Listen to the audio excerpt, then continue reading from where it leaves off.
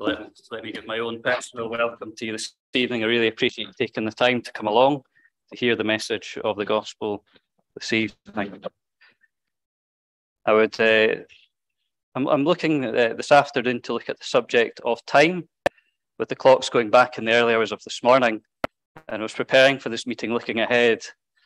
I decided to do a bit of a study on time throughout the Bible, looking specifically at the gospel message uh, just in relation to God, in relation to time, God's message to us for our time that we have on this earth, the time bound nature of this message, and how we need to respond to that message within a given time period, and then also touching a bit on our own mortality and how the Christian can view time and can relate to time.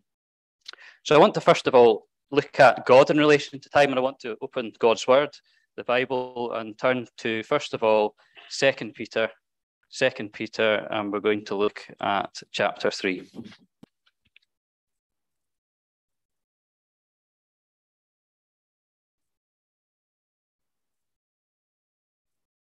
Second Peter, chapter three. It's quite a quite a short verse. I will be referring to a number of passages this afternoon. I don't uh, expect you to turn to them all. Um, there will be short passages, and they will be clear and hopefully easy to to understand. So, Second Peter chapter 3, verse number 8. But, beloved, be not ignorant of this one thing that one day is with the Lord as a thousand years, and a thousand years as one day. And we could have read a similar passage in, in Psalms for a thousand years in thy sight is but as yesterday when it is past and as a watch in the night. That's Psalm number 90. So, what are these passages telling us this afternoon? In relation to God. So God in relation to time, that's, that's the topic I want to focus on at the start of the message. Well, well, these passages are telling us that to God, one day is like a thousand years. And it's just a picture, it's to help us try and comprehend eternity, eternal matters. It's very difficult for us to understand uh, this, con- this concept that God is eternal and He's outside of time. He's not bound by time. It's quite a difficult concept for us to understand. We're programmed by time. I've got uh, roughly half an hour to present the message to you. There's a clock on the wall, there's a watch here. I knew the date that I had to preach the gospel here. We're characterized by time. We have plans for our life, whether that be education or a career or a family, whatever those plans are.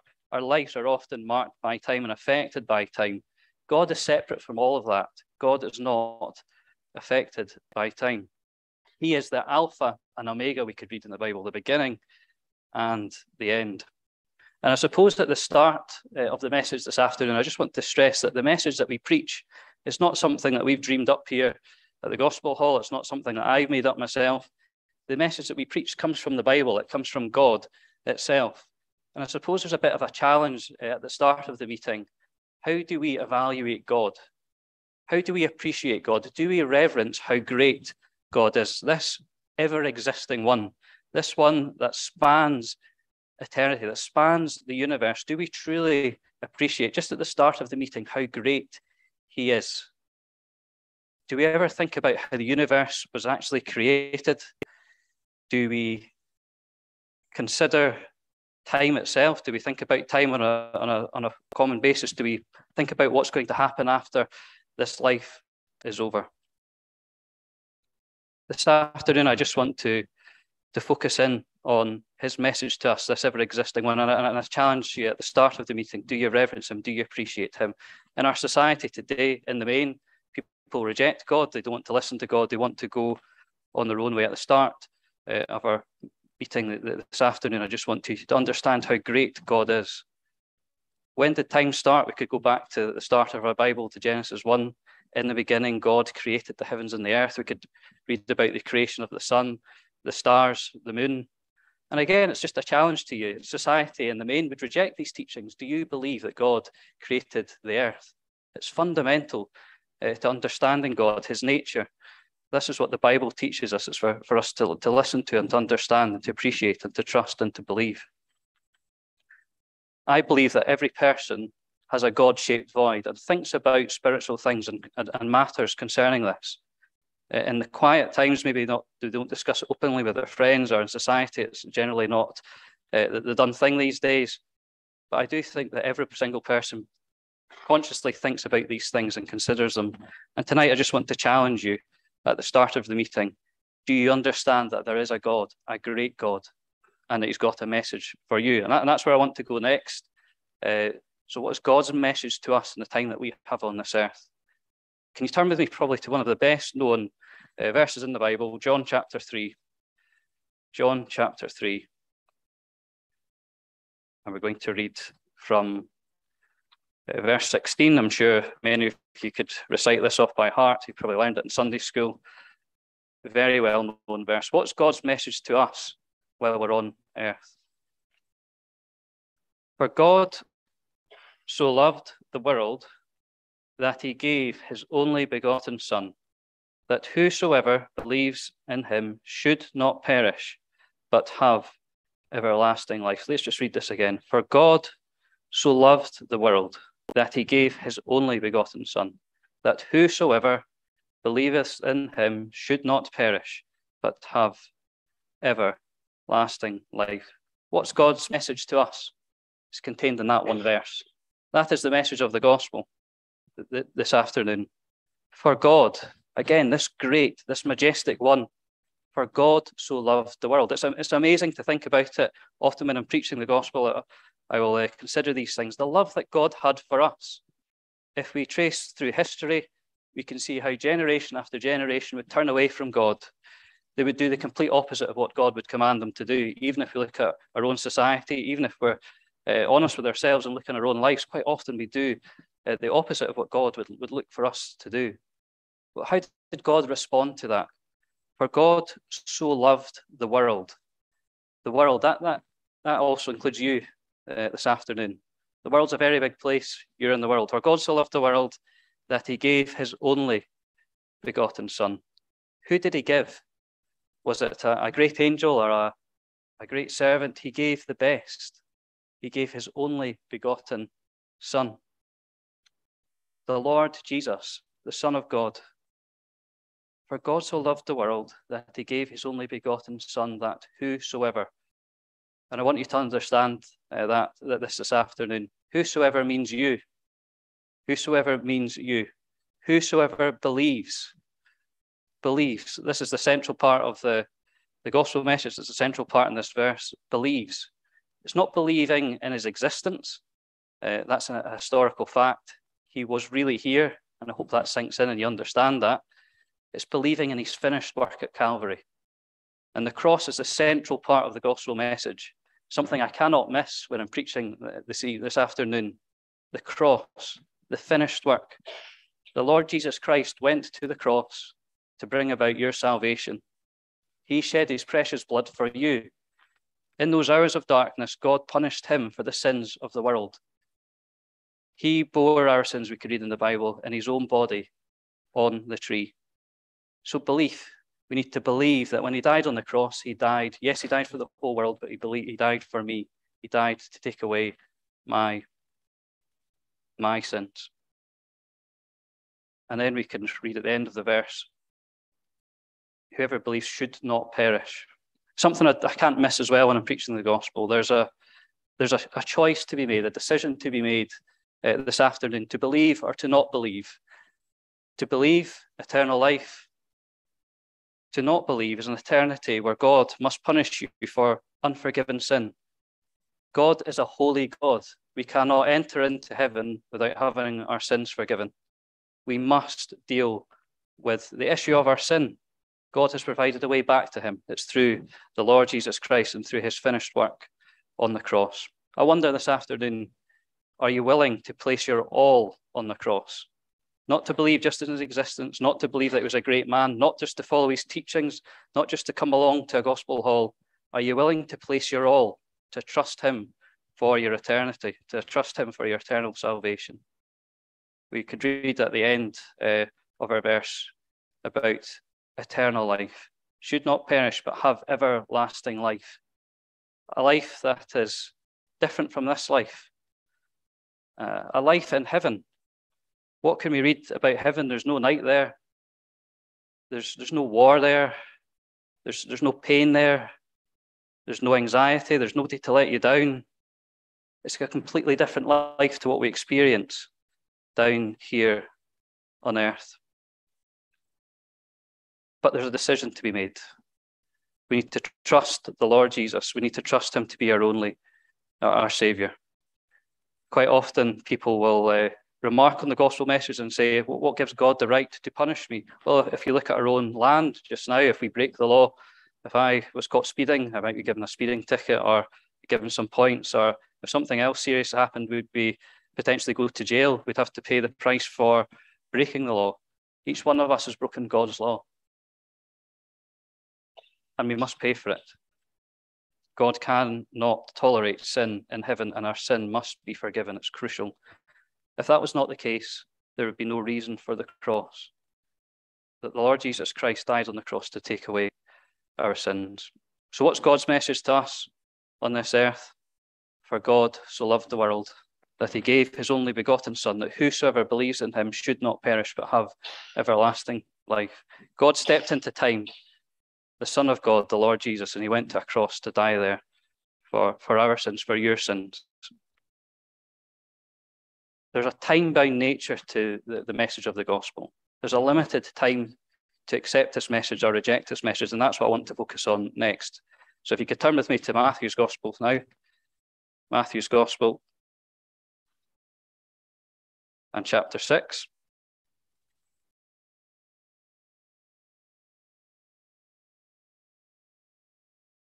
Matthew's Gospel, chapter 6. I'm just going to read from verse 33. But seek ye first the kingdom of God and his righteousness, and all these things shall be added unto you. Take therefore no thought for tomorrow, for the morrow shall take thought for the things of itself. Sufficient unto the day is the evil thereof. It's, it's really that first phrase in, in verse 33 but seek ye first, seek ye first the kingdom of God. It's really saying prioritize spiritual things, prioritize eternal things. I don't know what your number one priority is today. Maybe you're uh, thinking about work tomorrow. Maybe you're planning something to do with your career. Maybe you're thinking ahead to Christmas. Maybe you're planning a holiday. I don't know what your number one priority is today. I hope if you're not saved, if you don't know what it is to be a Christian, that that is your number one priority. This is what the verse is telling us seek ye first the kingdom of God. I hope that's what you're doing uh, this evening. You know, we're not given tomorrow. We could read in verse 30, 34 about um, not giving thought for tomorrow. Yes, we, we need to make plans, but it's plans in the will of God. We do not know what will happen tomorrow. We're not given tomorrow. And when it comes to the message of the gospel, you're given here and now.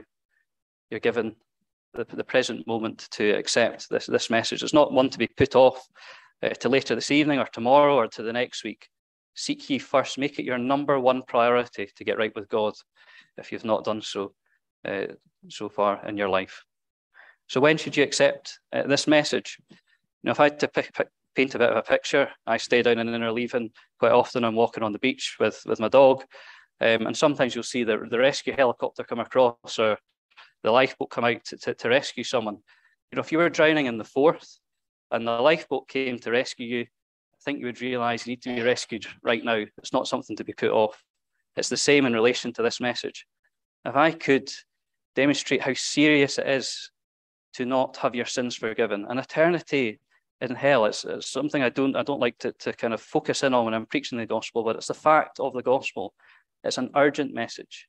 It's something that you need to listen to and something you need to respond to uh, today. Don't put this message off any longer. We could read in Second Corinthians, now is the accepted time, behold, now is the day of salvation. Tonight, we're throwing you the lifeline. We're pointing you to your Savior, the Lord Jesus Christ. It's up to you to grasp it, to accept that free gift of salvation. You'll not regret it. So, the time bound nature of the gospel message. We're not given any longer. We could be taken out of this life, or the Lord Jesus Christ could return as well, and the opportunity, that day of grace, could, could close. And we could read in Mark's gospel, but of that day and that hour and that hour knoweth no man so the message is time bound. We don't know how long we've got. This could be your last gospel message that you hear uh, this evening. This could be your last opportunity that God's giving giving to you to respond to that message. Or the Lord Jesus may return, which is something as Christians we're looking forward to because our sins are forgiven and we know what lies ahead. I wonder if you are looking forward to, to that occasion as well, or whether you're unsure, or whether you're filled maybe with um, anxiety as you think ahead to that event as you, because you don't know where you stand uh, in the light of eternity. I wonder uh, this afternoon, if you're understanding this message, what would stop you coming to the Saviour? And I want to touch on uh, our own mortality, a bit of a, a, morbid subject, but it's a theme that flows throughout the Bible, and it's something I can't miss uh, when I'm preaching the gospel um, this afternoon. You know, the psalmist could say, Behold, thou hast made my days as a handbreadth, handbreadth, and mine age is nothing before thee. And he's basically saying, in the light of eternity, our life down here is a very short window of time. You know, I'm I'm only 30, believe it or not and it feels like blink twice and, and somehow I'm married, I've got two children and, and a job. And when I speak to people older, older than me, quite often they say it just gets gets worse, it gets quicker and quicker. And before you know it, life is gone. And I wonder where where do God and spiritual things uh, rank for you in life just now in your plans? Is it is it an optional extra to attend on a Sunday to to read the Bible, to pray, or, or is your whole eternal salvation, your whole eternity dependent upon the Lord Jesus Christ. Again, I hope it is um, as we, we preach this afternoon. And I want to look at uh, a verse in James just on the subject, James chapter 4.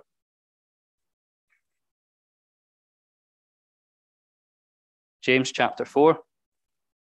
Some of you may know where I'm going. It's quite a, a well known verse, James chapter 4. And we're going to read from verse 13. James chapter 4, reading verse 13.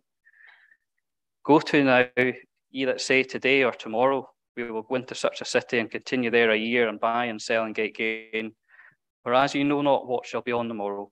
And this is the, the, the part of the verse I want to focus on. For what is your life? Tis even a vapour that appeareth for a little time and then vanish away. For that you ought to say, If the Lord will, we shall live and do this or that. For what is your life? It is a vapour that appeareth for a little time and then vanisheth away. You know, it's a very visual verse. It's very easy for us to understand. Um, a while back, I used to get the train in from Inverkeithing, and throughout the winter time, I'd be standing there sometimes you see your, your breath, it was that cold, or maybe you can visualize boiling the kettle and the steam comes out the kettle, just that vapor, it's there for a moment and then it's gone forever. That's a characteristic that this verse is describing our life. It's a very short period, a short window of time, but what we do and decisions that we make in that short period of time will determine where we spend our eternity, that never ending period of time. I wonder, in the light of this, do you acknowledge that God is also in control of your life? Where, I wonder where He features in your plans. Do you reverence Him? Do you have a true understanding of how great He is? And are you living your life uh, in, in awareness of this? You know, we need to make that decision point in time. I've stressed it again and again, and I'll stress it uh, one more time. It's, it's a decision that needs to be made in the here and now. I sat where you sit for the best part of 18 years, listening to the gospel message and putting that decision off and off. I didn't know when my last opportunity could be. God, in His mercy, allowed me to hear the gospel many times. I don't know if He'll do the same for you. But as I said, this could be your last opportunity to hear this message and respond. The Bible could say, Boast not thyself of tomorrow, for thou knowest not what a day may bring forth. I don't know if you're planning to make this decision at some point in your life, maybe in the future, maybe when you get old. That's not the case. We do not know how long we've got in this life as a decision that we need to make in the here and now. We need to focus on the, the weightier matters of our, of our life. What is our life's purpose? Why are we here? Where are we going? I wonder if you've thought about these things seriously. You know, as Christians, we can enjoy a different quality of life even down here. And that's something I want to, uh, to stress happy are the people whose God is our Lord, I think is the verse that's, that's behind me, um, which is quite a fitting for the message I've got this afternoon. You know, to become a Christian allows you to remove the anxiety you have about the future whatever circumstances you're going through, yes, they can affect you, but you've got a savior, you've got a shepherd, one who cares for you, one who loves you, one who will never let you down. So time passes very quickly. We've got a limited time to respond to the message that God gives us, even today. Before I became a Christian, quite often I would sit where you sit and I would hear a verse, sometimes this time of year, sometimes a wee bit uh, earlier into autumn. It was found in Jeremiah. I'm not going to turn to it, I'll just quote it off the platform. And it says this The harvest is past, the summer has ended, and we are not saved. And that used to jar, that used to uh, annoy me sometimes when I was sitting listening to this message, because I always intended to become a Christian at some point. Sometimes I would start at the beginning of a year and say, at the end of this year, I'm going to become a Christian. But I put the message off and off and off, and before you know it, the year is gone. And as we approach Christmas, maybe it was your intention at the start of the year to become a Christian, and you're still here, you're still unsaved. You've maybe heard the message many times. What's it going to take for you to, to place your faith and trust in the Lord Jesus? What's it going to take for you to make that decision? I'm trying to stress again tonight do not put this message off any longer. It's a very urgent message. It's one we need to respond to in time. Now, I want to look finally at time from a Christian's perspective. How do Christians react and, and uh, react to, to time? And I just want to turn, first of all, to, to Hebrews Hebrews this time, um, chapter 13. You don't need to turn to it, it's a very short verse. Hebrews chapter 13 and verse 8. It's one of my favorite verses in the Bible. Jesus Christ, the same yesterday, today, and forever. You know, I said uh, throughout our message that God sits outside of time. He's unaffected by time. We can be affected by circumstances that come in uh, to our lives. We can be affected by uh, illnesses as we progress through life. We can let others down. Tonight, we preach one who is the same, who never changes. Jesus Christ, the same yesterday, today, and forever. His promises will remain the same, his characteristics will remain the same. The message that we preach to you this afternoon remains the same. You can trust him. Jesus Christ, the same yesterday, today, and forever. As we look ahead as Christians, we know what lies ahead of us. We know that the Lord Jesus Christ will come to take us to be with Him because we've placed our faith and trust in Him. And if we go through events which uh, we do not enjoy, because Christians aren't averse to uh, negative things happening in their lives, we have a good shepherd that cares for us, a good shepherd that gave his life for the sheep. So our circumstances may change, he never changes. His teachings and his person remains the same you know, the psalmist David, he could say, My times are in thy hand. The psalmist David was hounded like a partridge from cave, from cave to cave as uh, Saul would seek to take his life. He was constantly under threat. How did he react? My times are in thy hand. And again, as Christians, we can rest there. He has our times in our hand. Whatever lies ahead, he knows what it is and he cares for us. And we can trust in and rely on him. And I wonder if you're not a Christian, do you realize how much comfort you can get from this? Just resting, just putting our anxieties, our burdens over to Him, one who cares for us, one who is, as I said, that good shepherd.